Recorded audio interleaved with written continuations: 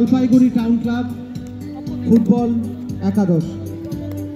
দর্শকদের কাছে আমার অনুরোধ, আপনারা সত্তর আপনাদের টিকিটটি সংগ্রহ করবেন এবং নিজ নিজ আসন গ্রহণ করবেন।